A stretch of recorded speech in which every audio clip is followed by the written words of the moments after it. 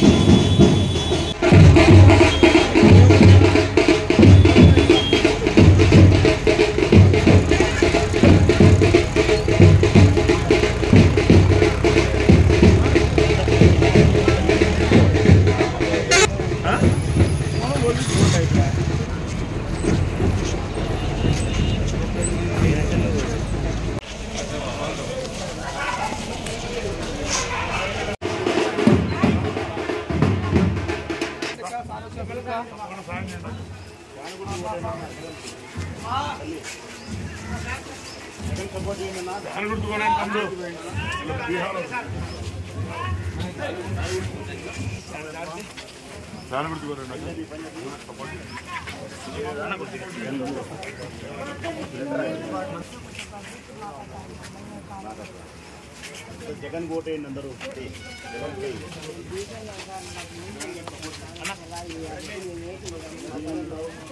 బాగా వస్తున్నాయి ఇప్పుడు మీకు కుళాయి లేదా ఇంట్లో లేదా ప్రాణం గుర్తు చేయండి మా జనం సపోర్ట్ చేయండి అమ్మా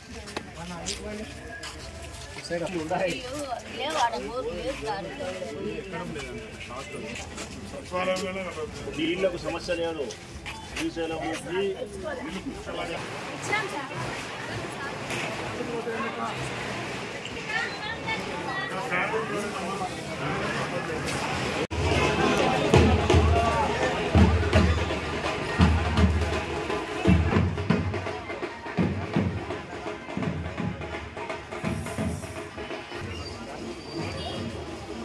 సైడ్ అన్న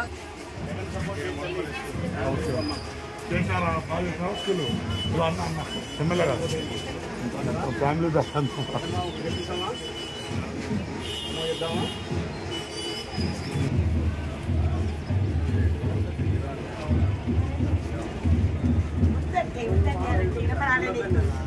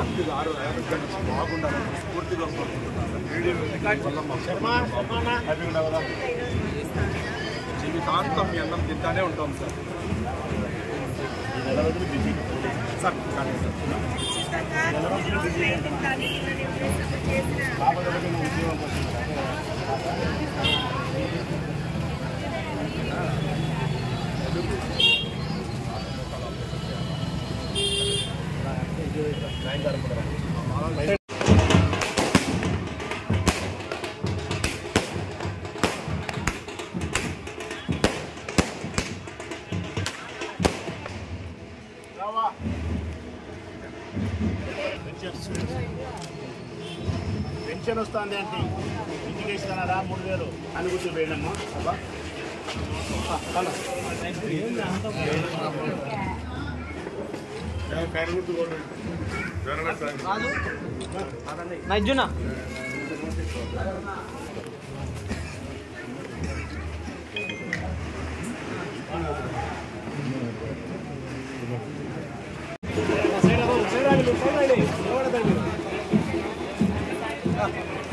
సైడా సైడా ఎనికి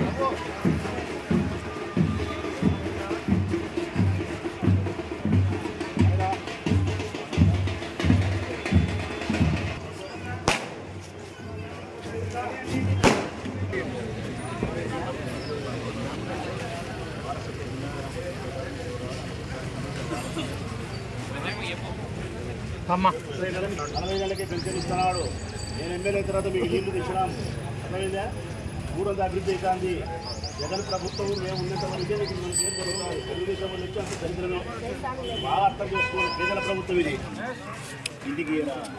రవి వాళ్ళ అమ్మన్న రవి రవి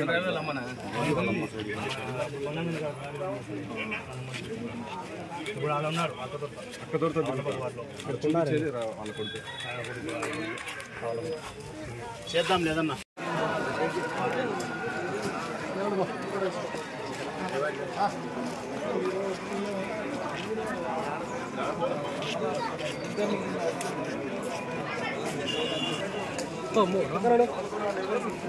ఇల్లు వేపియాలి మేమే నాదే బాధ్యత.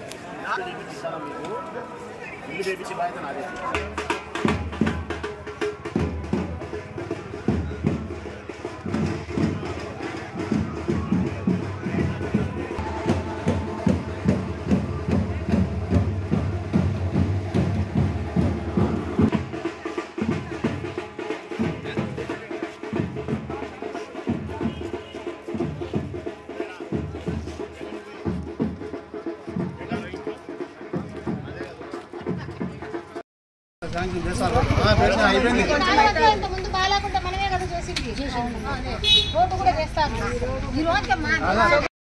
బాధపడి మమ్మల్ని అడుగుతారు కన్యకులమ్మ వేసినారంటే మాకు తల్లి.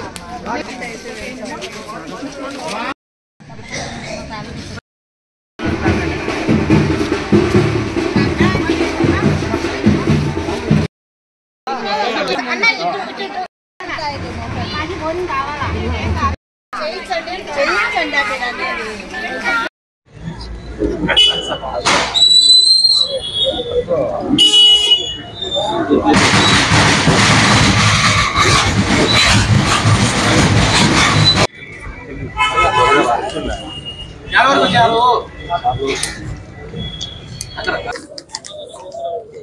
ఓకే.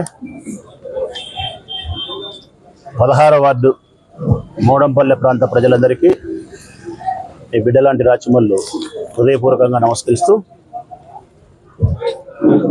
వైఎస్ఆర్ కాంగ్రెస్ పార్టీ ఎన్నికల ప్రచారంలో భాగంగా ఈరోజు పదహార వార్డు మూడంపల్లిలో పర్యటించడం జరిగింది. మోపూరి రేవతి స్థానిక కౌన్సిలర్ వారి నాయకత్వంలో వారి భర్త శ్రీనివాసరెడ్డి గారి నాయకత్వంలో మున్సిపల్ చైర్మన్ బీవునపల్లి లక్ష్మీదేవి గారి నేతృత్వంలో వైఎస్ఆర్ కాంగ్రెస్ పార్టీ జెండా ఈ మూడంపల్లి ప్రాంతం అంతా కూడా దాదాపు మూడు వేల ఐదు వందల మంది ఓటర్లను కలుసుకోవడం జరిగింది. గడప గడపకు పోయి జగనన్న చేసిన మంచి ఏమిటి అని అడిగి జగనన్న ప్రభుత్వంలో మీకు మేలు జరిగిందా? మీ పిల్లల యొక్క విద్యకు మేలు జరిగిందా? స్త్రీల యొక్క అప్పులు తీరిపోయినాయా? పెన్షన్ ఇంటి వద్దకే వస్తుందా? పెన్షన్ పెంచినారా లేదా? నలభై ఐదేళ్ళకే పెన్షన్ ఇచ్చిన విధానం మీకు నచ్చిందా నచ్చలేదా? రైతులు వ్యవసాయం చేసుకునే వాళ్ళకు ప్రతి సంవత్సరం పంట పెట్టుకోవడానికి పదమూడు వేల ఐదు వందలు ఇస్తూ ఉన్నారు. ఇంటిగ్రేటెడ్ ల్యాబ్ ఇక్కడ ఏర్పాటు చేసినారు. ఇటువంటి తదితర అంశాలన్నిటినీ కూడా ప్రతి వీధిలోనూ ప్రతి సందులోనూ అక్కడ ఉండే స్థానికులతో మాట్లాడి జగనన్న పాలన గురించి అడిగి ఎవరికి మీరు ఓటు వేయాలనుకుంటున్నారు? ఏ ప్రభుత్వం మంచిది? ఏ ప్రభుత్వం మంచిదైతే ఏ ప్రభుత్వం వలన మీకు మేలు జరిగి ఉంటే ఆ ప్రభుత్వానికి ఓటు వేయండి అని చెప్పి ఓటు అభ్యర్థిస్తూ ఉన్నాము ఈ క్రమంలో ఎక్కడ చూసినా మాకు వినిపిస్తా ఉండే మాట. జగనన్న ప్రభుత్వం వచ్చిన తర్వాత పేదవారికి పూర్తిగా మేలు జరిగింది. మధ్యతరగతి కుటుంబీకులకు మేలు జరిగింది. బడుగు బలహీన వర్గాల పిల్లల యొక్క ఉన్నత విద్యకు పెద్దగా ఈ ప్రభుత్వం ఉపయోగపడతా ఉంది. స్త్రీలకు మరింత స్వేచ్ఛ స్వాతంత్రాలు సిద్ధించిన ఈ ప్రభుత్వంలో. ప్రతి ఒక్క సంక్షేమ పథకం కూడా మహిళల పేరుతోనే నేరుగా మా అకౌంట్గా డబ్బులు వేసే విధానం మాకు చాలా నచ్చింది. పురుషుల చేతుల్లోకి డబ్బులు పోకుండా దుబారా కాకుండా వ్యసనాలకు ఖర్చు కాకుండా కుటుంబ అవసరాలకు మా చేతికి రావడం వల్ల మేలు జరుగుతూ ఉంది. జగనన్న ప్రభుత్వం పూర్తిగా స్త్రీల యొక్క పక్షపాతికి సంబంధించినటువంటి ప్రభుత్వం పేదలకు అనుకూలమైనటువంటి ప్రభుత్వం బడుగు బలహీన వర్గాల యొక్క ఉన్నత విద్యకు వారు ఉన్నత శిఖరాలు అధిరోహించడానికి ఉపయోగపడే ప్రభుత్వం అని చెప్పి ఈ ప్రాంతంలో ప్రజలందరూ కూడా ముక్త కంఠంతో ఈ ప్రచారంలో మాకు చెప్తా ఉన్నారు. అసలు మీరు తిరగాల్సిన అవసరమే లేదు నాయన. ఎవరు ఉన్నా ఎవరు లేకపోయినా ఎవరొచ్చి ఓటు అడిగినా అడగకపోయినా మేము వేసే ఓటు జగనన్నకు. ఇంకా తెలివైన వాళ్ళు చెప్పే మాట ఏంటంటే మేము జగనన్నకు కాదు ఓటు వేసేది పేద ప్రజల ప్రభుత్వానికి ఓటు వేసుకుంటున్నాం. మా భవిష్యత్తుకు అనుకూలంగా మేము ఓటు వేసుకుంటున్నాం. ఈ ప్రభుత్వం పోతే మా పిల్లల విద్య నాశనమైపోతుంది. ఈ ప్రభుత్వం పోతే మా పేదరికానికి నాలుగు రూపాయలు వచ్చేది కూడా ఉండదు. కాబట్టి ఈ ప్రభుత్వం ఉండాల్సిందే. పూర్తిగా జగన్మోహన్ రెడ్డి గారి కాలం గడిచినంత కాలం ఆయన ఈ రాష్ట్రానికి ముఖ్యమంత్రిగా ఉండాలని చెప్పి ప్రజలు ఏకపక్షమైనటువంటి తీర్పునిస్తా ఉన్నారు. నేను మనస్ఫూర్తిగా ప్రజల్ని అడిగేది కూడా ఒకటే. ఈ ఎన్నికల్లో మీరు ఓటు ఓటు వేసే ముందు ఏప్రిల్ పదహైదు తారీఖు లోపల ఎన్నికలు జరుగుతాయి. మీరు ఓటు వేయాల్సి వస్తుంది. ఈ ఊరు ఎమ్మెల్యేని మీరు ఎన్నుకోవాల్సిన పరిస్థితి వస్తుంది.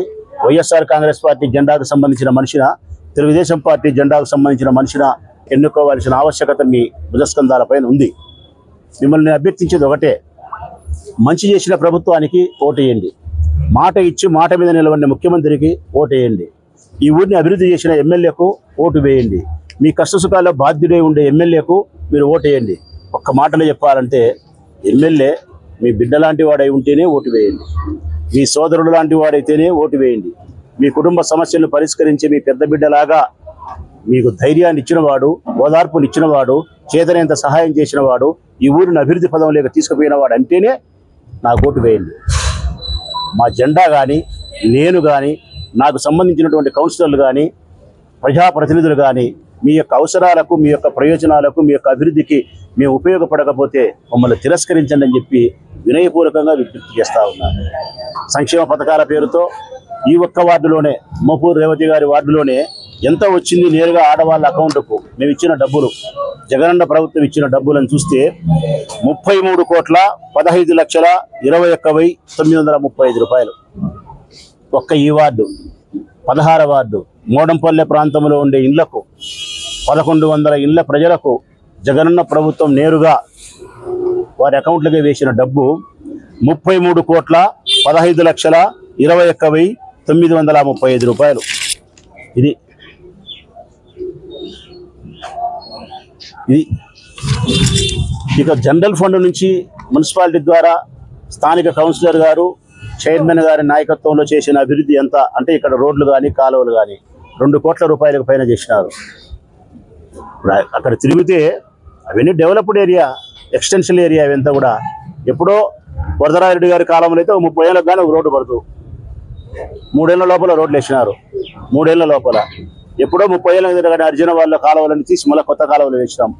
అంటే ఈ వార్డుకు సంబంధించి రెండు కోట్ల రూపాయల అభివృద్ధి కార్యక్రమాలు చేసినాం. ముప్పై మూడు కోట్ల రూపాయల సంక్షేమ పథకాలు ఇవ్వగలిగినాం. ఎమ్మెల్యేగా నేను నూట యాభై కోట్ల రూపాయలు పెట్టి మైలవరం నుంచి నీళ్ళు తెచ్చి ఈ ఊరి ప్రజలకు నీళ్ళు అందించగలిగినా. పదహైదు సంవత్సరాల కిందట నీటికి కటకట అనే ఈ ఊర్లో ఈరోజు నీళ్ళు ఎక్కడ చూసినా సమృద్ధిగా ఉదయం పూట ఏడు గంటలకు ఎదేచ్చుగా కావాల్సిన నీళ్ళు ఇవ్వగలుగుతామంటే అది కేవలం మీ ఎమ్మెల్యే సాధించిన ప్రగతి. మీ పట్ల మీ ఎమ్మెల్యేకు ఉండే నిబద్ధత ఈ ఊరి ప్రజల ప్రజలను పట్టి పీడిస్తూ ఉండే త్రాగునీటి సమస్యను పరిష్కరిస్తేనే ఇరవై నాలుగులో నేను పోటీ చేస్తానని చెప్పి మీకు మాట ఇచ్చిన ఇచ్చిన మాట మేరకు ఇరవై నాలుగు ఎన్నికల కంటే ముందు మీకు త్రాగునీరు అందించగలిగిన. అందుకే ఈ ఎన్నికల్లో పోటీ చేసే అర్హత నాకుంది. మిమ్మల్ని వినయపూర్వకంగా ఓటు అభ్యర్థించే అర్హత కూడా మీ బిడ్డ రాచమల్లకు ఉందని చెప్పి మనస్ఫూర్తిగా నేను భావిస్తూ ఉన్నాను నేను. అంతేకాకుండా ఈ ఊరు అభివృద్ధి ఆమె దూరంలో ఆగిపోయింది. వరదరాజరెడ్డి గారి నేతృత్వంలో.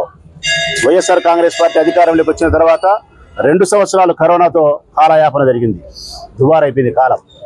మూడు సంవత్సరాలు మాత్రమే మాకు పదవీ కాలం ఉపయోగపడింది. ఈ తక్కిన మూడు సంవత్సరాల కాలంలో కూడా అనేక అభివృద్ధి కార్యక్రమాలను జగనన్న ద్వారా మేము చేయగలిగినాం. ఒక ప్రొద్దుటూరు మున్సిపాలిటీకి సంబంధించి నలభై ఒక్క వార్డుల్లో జనరల్ ఫండ్ నుంచి వివిధ రకాల అభివృద్ధి కార్యక్రమాలు రోడ్లు కాలువలు నూట ఇరవై కోట్ల రూపాయలతో చేసినాం. నూట ఇరవై కోట్ల రూపాయలతో నలభై ఒక్క వార్డుల రోడ్లు వేసినాం కాలువలు వేసినాం. ఐదు కోట్ల రూపాయలు పెట్టి గాంధీ పార్కును సుందరీకరణంగా చేయగలిగినాం. ఈరోజు శనివారం ఆదివారం వస్తే పదివేల మంది తల్లుడి పిల్లలు ఆ పార్కు పోతున్నారు. మున్సిపల్ ఆఫీస్ ఎదురుగా ఉండే పార్కు. అంతకుముందు గాలికి వదిలేసినారు అది. టూ టౌన్ బైపాస్ రోడ్లో రెండు కోట్ల రూపాయలు పెట్టి పార్కు తయారు చేయగలిగినాం. మైదుకూరు రోడ్డు మూడు కోట్ల అరవై లక్షల రూపాయలు పెట్టి రోడ్డు డివైడర్స్ వేసినాము ఫుట్పాత్ కట్టినాము రోడ్డు వెడల్పు చేసినాము సెంటర్ లైటింగ్ తీసుకొచ్చినాము గ్రీనరీ డెవలప్ చేసినాము. హైదరాబాద్లో నెక్లెస్ రోడ్ లాగా చేయగలిగినాము తెలుగుదేశం పార్టీ వాళ్ళు సాయంకాలం ఏడు గంటల ఎనిమిది గంటలప్పుడు మైదుకూరు రోడ్డు ప్రయాణం చేయమను. మనం ప్రొద్దుటూరులో ఉన్నామా? హైదరాబాద్ నెక్లెస్ రోడ్డు ఉన్నామని వాళ్ళకి అనిపించే పరిస్థితి ఆ రోడ్డుని చేయగలిగినాం. Government hospital road. అసహించుకునే ఆ రోడ్డును చూడుకోండి ఇప్పుడు. ఢిల్లీలో ఇండియా గేట్ ఉంటుంది కదా స్ట్రైట్గా రోడ్డు సెంటర్ లైటింగ్ అట్లుంది. Government hospital road. Nehru road Varadarareddy గారు ఉండే ఆఫీసే కుచించకపోయిన రోడ్డు వెడల్పు చేయగలిగినాం. శ్రీరాములపేట రోడ్డు వెడల్పు చేయగలిగినాం. గురవైతొడ్డు రోడ్డు ఆర్ట్స్ కాలేజీ రోడ్డు. ఇవన్నీ కూడా చిన్న రోడ్డును వెడల్పు చేసి ప్రజలకు సౌకర్యాన్ని అందించగలిగినాం. యాభై మూడు కోట్ల రూపాయలతో శివాలయం సెంటర్లో అందమైన మార్కెట్ నిర్మిస్తూ ఉన్నాం. ఐదు కోట్ల రూపాయలతో బస్టాండ్ రెనోవేట్ చేస్తూ ఉన్నాం. యాభై రెండు కోట్ల రూపాయలతో పెన్నా రివర్లో బ్రిడ్జి కడతా ఉన్నాం.